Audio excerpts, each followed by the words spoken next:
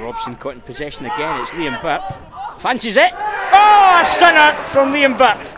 A measured finish from the Rangers youngster. Gets Rangers in front for the second time this afternoon.